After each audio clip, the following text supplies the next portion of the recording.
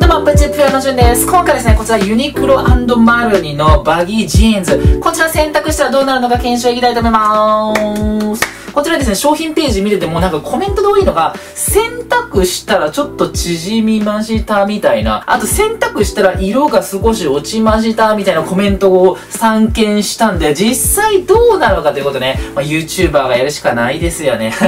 こちらのパンツですね、レディースなんだけど、男性の方が着てもね、全然いけるわけなんですよね。こう、太もももワイドだし、裾もワイド。僕はですね、ワンロール、ツーロールぐらいしてるんですよね。丈長めのやつを買って、ちょっとこう、クッション出してもいいし、ワンロール、ツーロールしたってもいいかな、みたいな感じで履いております。結構かっこいいんですよね。ボトム黄色とかね、あの、青色も売ってんだけど、で、上を白とか黒に持ってきてやると、超かっこいいわけなんですよね。映えーって感じですわ。で、マスタードなんだけど、そこまで激しいマスタードじゃないよね。ちょっと落ち着いたマスタードですごくいい風でね、柔らかいんだよね。麺100%なんやけど、すごく柔らかい。てか、今までこんなね、柔らかいデニム買ったことないわいうぐらい、めちゃくちゃね、なんか肝がかってて、めちゃ気持ちいいんですよね。で、デニムあるあるなんですけど、選択すると、縮んでしまったりとか、選択すると色が落ちてしまうっていうのが、まあ、デニムあるあるなわけなんですよね。ちなみに僕ですね、身長177センチで28インチ、71センチ購入いたしました。実際にね、ウエスト何センチなのかこちら測ってみましょうか。こちらですね、メジャー使って実際の長さ測ってみたいと思います。レディースのさ、28インチとか聞くと、なんかビビるやんか。えー、そんな細いやつ履けるわけないっていう風に思うかもしれないですけど、実はウエストの仕上がり寸法は結構長めな感じに作られてんだよね。このような感じでちょっとこうベルトみたいに通してですね、長さ測ってみたところ、80ね、5ですね。85センチになってます実際のなんかウエストの仕上がり寸法は83みたいなんだけど、ピチッと測ってみたんだけど、85。もしかしたら2センチ伸びたんかな履いてるうちに謎だわ。続いて股下の長さチェックしときましょうか。一応股下が81.5いうことなんだけど、その長さもそんなにそうなのか。これで選択した時に、その股下の長さ変わってるのかとかもうちょっと気になりますよね。股下出ました。85ぐらいあるんだけど。え、マジ？測り方合ってるかわかんないけどさ、85になってんよね。ほんまかいや。81.5のはずなんだけどね。測り方おかしいんかな？わからんけど。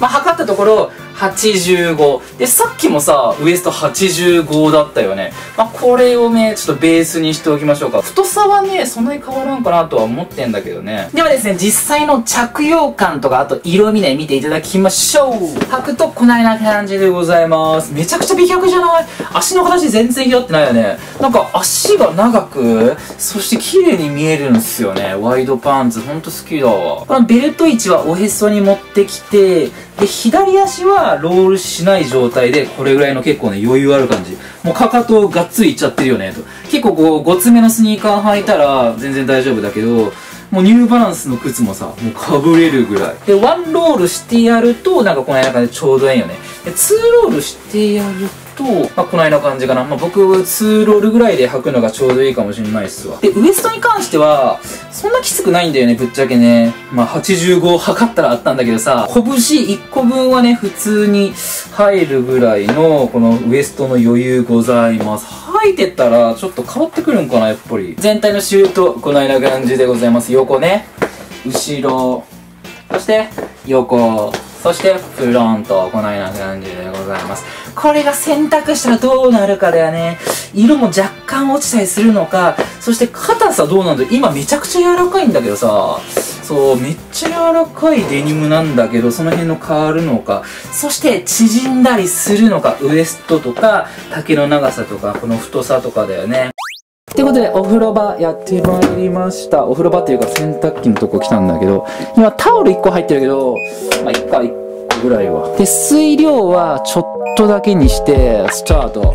これ一応ね、裏返しておきますわ、デニムね。で、ネットとかに入れた方がいいかもしれないですけど、お家にネットないんで、もうこのままぶっ込んでやります。であんま色落ちもしたくないんで水洗いね。とりあえず水洗いしてみようかな。である程度ね汚れとかも取れる気がするもう何回か履いてんだけどそう。歩いてたらね結構汗とかもかくしちょっとずつね汚れてるかなとは思いますわ。裾のところとかもね絶対汚いと思うわ。ということで裏返した状態でイン。1日後またお会いしましょう。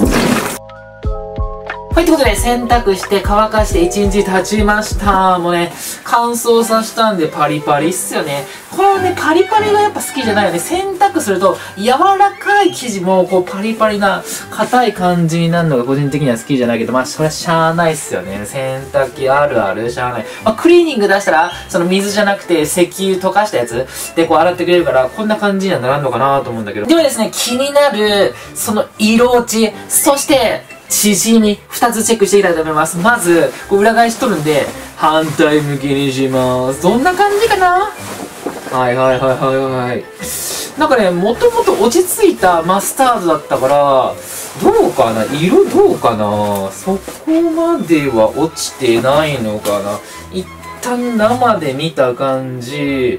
大丈夫そうね。なんかそんなに色落ちてなさそう。一回の水洗いじゃさすがにそんな落ちひんかなとは思います。マスタードとブルー2色あるんだけどブルーの方結構発色強いやんか。だからそっちの方がもしかしたら色落ち目立ちやすいんかもしれないですけどね。ちょっとこうシワ伸ばして実際に縮んでいるのか測ってみましょう。えっと洗濯する前がウエスト85でまた下85だったよね。同じようにちょっと計測してみたいと思いますウエストに関しては全然余裕があったからまあ、ぶっちゃけね、縮んでてもいいかなって感じだけど、どうだろう。計測結果出ました。え、マジ？とですね、ウエスト見てみると、82になってんね。洗濯前結構ウエスト伸びてたんかな ?85 になってたんだけど、洗濯したら今82になってますね。なんかめちゃ、めちゃ縮んでね。ほんまに？そんなに？そんなに？後でちょっと試着してみて、本当に縮んでんのかチェックするけど、ウエスト、ウエスト縮んでるかもしれないですね。まあ、乾燥直後は若干ね、縮んでる感じはそれ多少あるかもしれないもんね。続いてまた下行きましょう。また下下に関しては85ぐらい同じですね。こちら85センチぐらいとなっております。ちょっとウエストの縮みが気になりますね。本当にその縮んでいるのかということで、一旦こちら履いてみましょう。ということで履くとね、このような感じでございます。まあ、確かにね、ウエストね、なんか縮んでる感じですね。いや、前がブカブカすぎたんかもしれないな。普通にさ、あの、拳は入るんだけど、履いた瞬間なんか、あの、ジャストみたいな。そんな感じいたしますわ。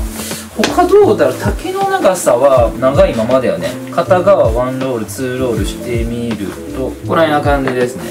はいはい。長さはね、やっぱ同じぐらいかな。2ロールでちょうどいいかなみたいな。そんな感じいたします。まあ、デニムなんで、面100%なんで、まあ、履いてたらまたね、ウエストとかも伸びてくるだろうし、この辺の硬い感じとかもまたね、すぐ柔らかくなるかなとは思います。こう、馴染ませてやってたら、使ってたらどんどんこう、柔らかくなるかなとは思うんですけどね。ちょっとアフター取っておきましょうか。フロントこのような感じ。はい、横こんな感じ。後ろ。そして左。そして。前このような感じですね。どうでしょうか？比較してみてどんな感じですかね。やっぱ前の方が柔らかいな。洗濯するとな。まあだから洗濯ずっとしてないと匂いが絶対出てくるやん男性の方とかもそうだと思うんだけどこの股ら辺とかに絶対こうなんていうのかな尿とかそんなんも絶対ねこう飛び散ってるはずだからそうそう絶対ね定期的に洗濯はした方がいいかなとはやっぱ思いますよね。ってことで検証結果なんですけど洗濯すると若干ウエストの縮みはあるかなと。他はね大丈夫そう。あと色も気持ち落ちたかなぐらい水洗いしてみて。若干の色落ちあるかもしれないですけど僕的には全然許容範囲かなみたいな感じでございます。ということで以上今回はここまでです。最後までご視聴ありがとうございました。バイバーイ。